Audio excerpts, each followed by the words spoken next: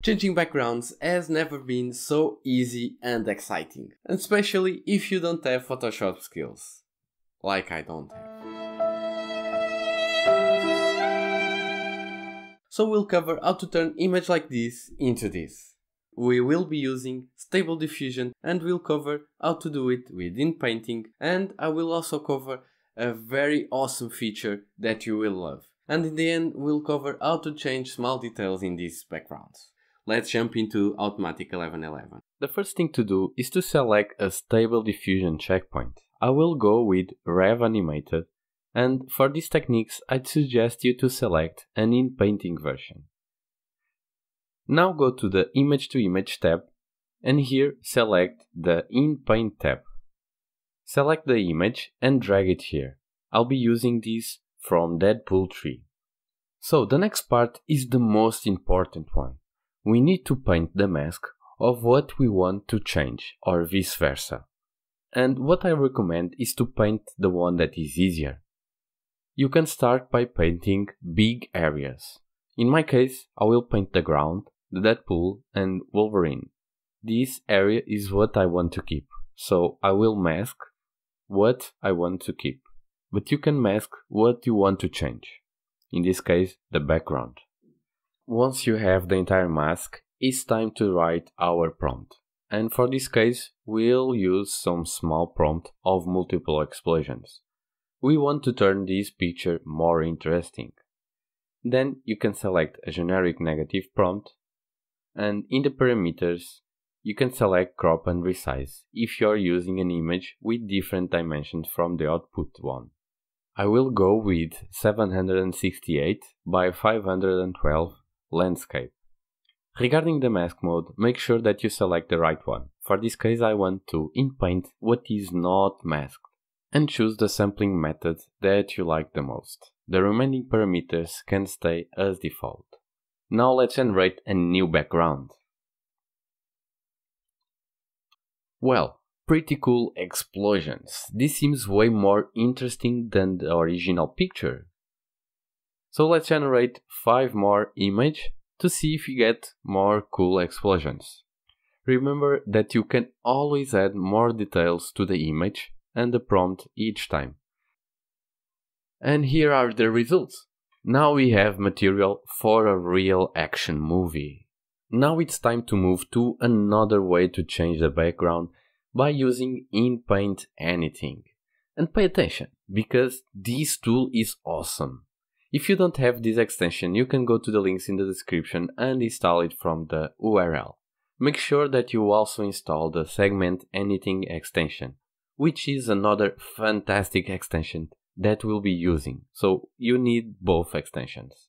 Coming back to the InPaint Anything tab, select a model here. I'll be using this one, but if you already use this extension, let us know in the comments what model you prefer. Then, if you don't have this model, press in Download Model. In my case, I already have it. Now, drag and drop the image that you want and pay attention. What I'm about to show you is awesome. This is where the magic of this extension happens. Here in the padding area, you don't really need to make much, so we are sticking with the default values. But now, press in the Run segment Anything button and wait. And voila! With the segment anything model, you are able to segment any object from an image, and this is really useful for several use cases. We will use this to mask the areas that we don't want to change or vice versa. All you need to do is this what you're seeing.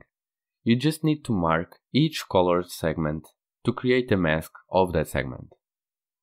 Watch this. When you press in the Create Mask button, it will process a mask over the areas that you selected. But careful, there is one thing that you should have in mind. You should not wrongly select or misclick in areas that shouldn't be masked. Watch what will happen here. It will mask the entire black segment. To save you time from this error, you redo your last selection and use a smaller pencil to select small segments. Right now you can probably see the pencil, but here it is aligned. Alright, moving on. Here's another tip for you. Keep marking areas, but press on create mask to keep checking if everything is fine. This way you won't have any problem and you won't lose time in the process. Alright, now that we have our mask complete, let me know in the comments what mask process do you like the most, in Paint versus in Paint anything.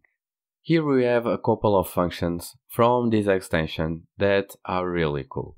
But for now, we will only use the Mask Only tab. Press in that tab, and then press in Get Mask, and send it to Image to Image in Paint. Now let's write another prompt for this use case. I will go with Cyberpunk New York City Street, neon lines, and a night sky.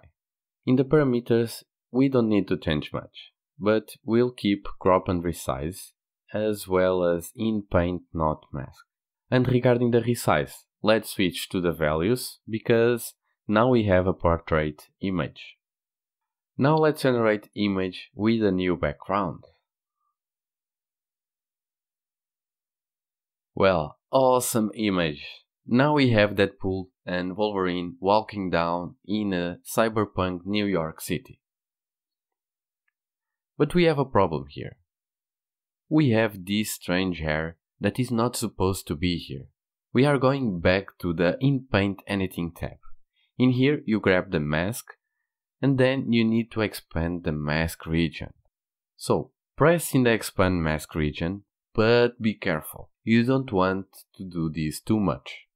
Now we send the mask to the image to image in Paint again and generate new image.